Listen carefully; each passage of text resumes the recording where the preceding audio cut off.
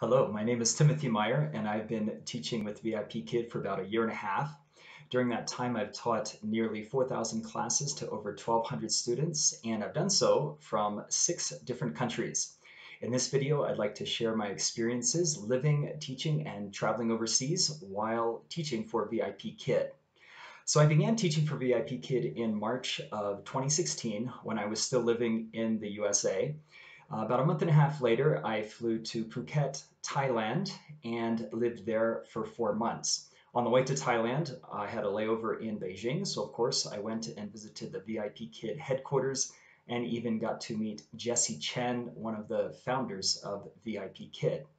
In Thailand, I rented a room uh, in Phuket. It's called a mansion there, but it's basically just a glorified or not so glorified motel room uh, for about $165 a month, and that included housekeeping. There was a pool. It was a pretty good deal. I had a dedicated internet line installed, and I forget the exact speeds, but it was plenty fast for teaching um, for VIP Kid.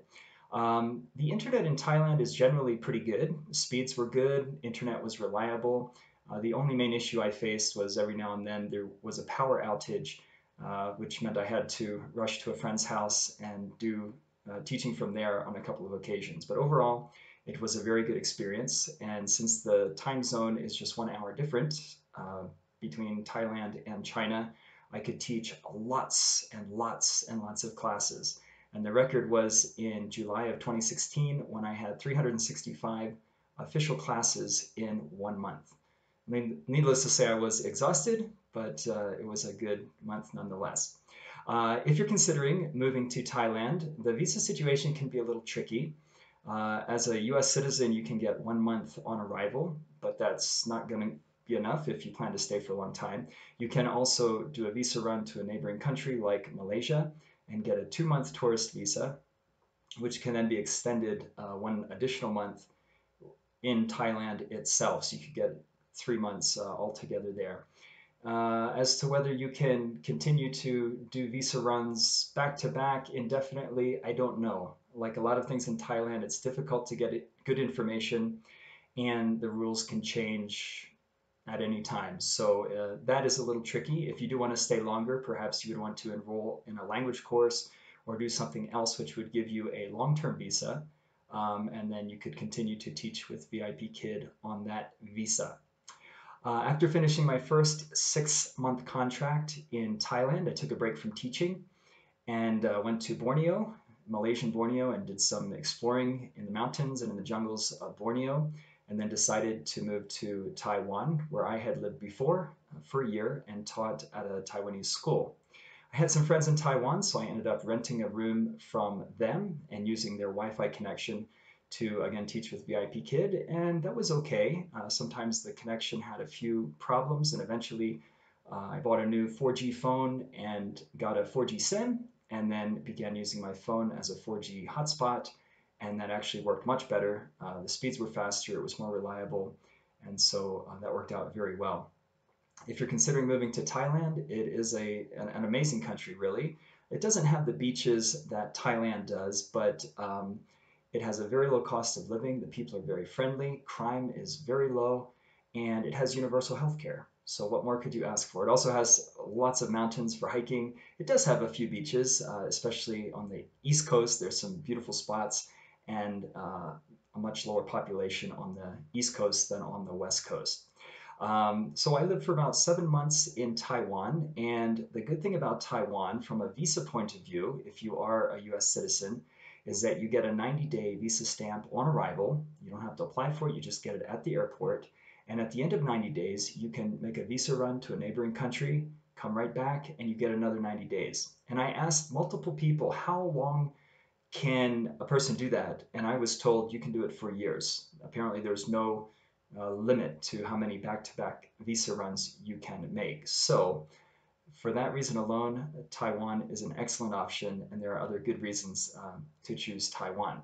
For me, uh, I took a visa run to Okinawa, Japan, uh, in January, I think, of this year, 2017. Just spent a weekend there, but got to explore a bit of Japan. And then a few months later, took another visa run to Hong Kong. I literally left in the morning and came back early afternoon. I think it was eight hours more or less from when I left my home to when I got back home. So that was just a quick visa run, but uh, no issues coming back in after doing back to back visa runs. Again, in Taiwan, the time zone is very similar. It's actually the same as in mainland China. And so there again, it was very easy to uh, get lots of hours and to not have to get up in the middle of the night to do so, as some North American teachers might have to do. After finishing my second contract, uh, second six month contract with VIP Kid in Taiwan, I took another break and did some traveling in the Middle East. In May of this year, 2017, I flew to Amman, Jordan, and spent three weeks exploring Jordan, including Petra. Uh, and then I flew on to Turkey and uh, spent about a week or so uh, exploring Turkey. This was my second time in Turkey. Uh, and then I rented a room through Airbnb uh, in the coastal town of Didim and taught with VIP Kid for one month from that uh, location. And again, in Turkey, I bought a local SIM, a 4G SIM, bought some data, and just used my phone as a Wi-Fi hotspot. And in Turkey, again, the internet, or the Wi-Fi, sorry, the 4G connection was very strong. I had download speeds of around 50 megabytes per second, upload speeds of I think 20 to 25 megabytes per second consistently. And in Turkey, a package of 10 gigabytes of data costs around $13. And with 10 gigabytes, I could teach approximately 130 classes. So that broke down to about 10 cents per class, which is very reasonable. And when my data got low, I just went, uh, topped up another 10 gigs, and I was good to go. So uh, there again, uh, if you want to live in Turkey or teach from Turkey, you certainly have some options. The visa situation for Turkey, as I recall, uh, is you can stay 90 days on a single uh, entry visa, which you do have to apply for ahead of time. Um, and then I think you have to leave the country for three months before you're allowed back in. Again, there would be some other options, perhaps look, learning a language um, or yeah, getting a student visa or getting a part-time job, which would provide a visa. I don't know much about that because I didn't do that in Turkey. But in any event, uh, it's certainly another option. And of course, Airbnb uh, is an excellent um, platform to find a room to rent for a week or a month or months on end, whatever.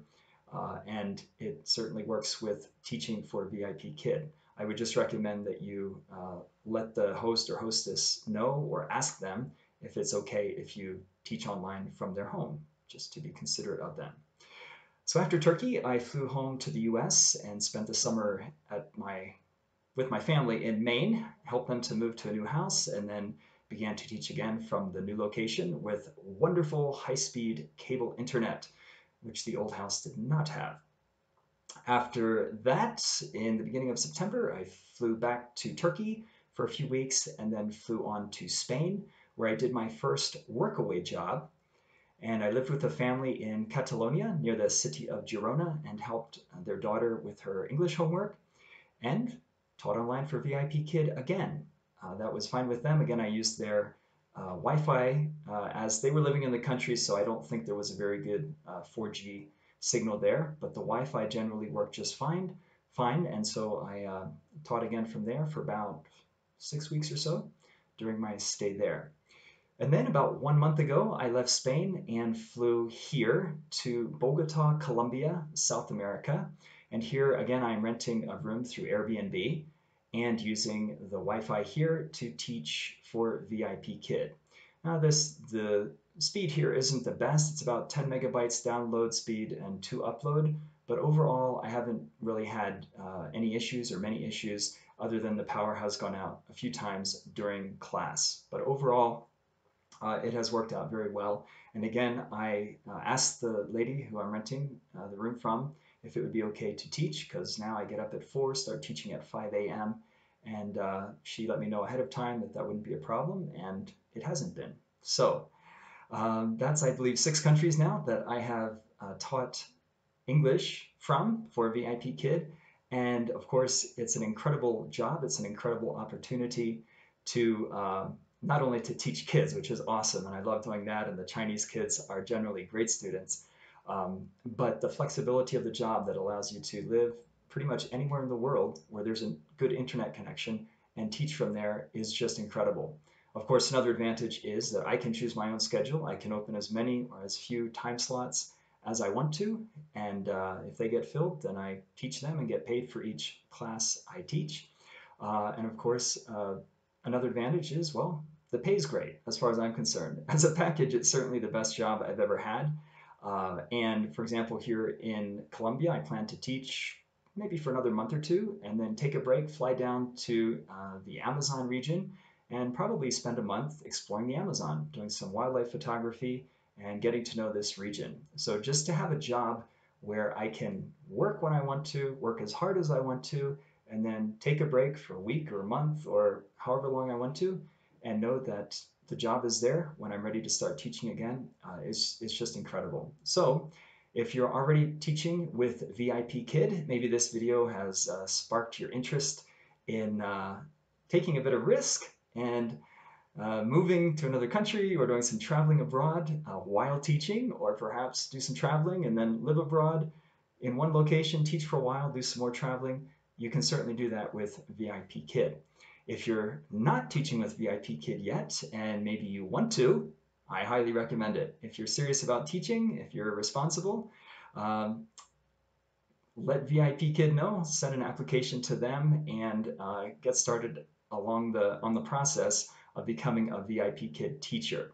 Uh, if you are interested in uh, applying with VIP Kid, please use the um, link in the description and that will take you to them and then you can apply through them. Now I will say that if you do apply through my link and you get hired, I will get a referral bonus for having referred you and you will get a great job with a great company and to me that sounds like a win-win situation. I hope you've enjoyed this video. If you have any comments or questions, please feel free to ask me. I do hope to make another video to show you what tools and resources I take along with me when I go traveling overseas so you can have some idea of how you can have a not too heavy, fairly concise kit uh, that has all the essentials so you can take your job on the road. Well, that's all for this video. I hope you've enjoyed it. If you have, please like it. And for the moment, happy teaching and happy traveling. See you later.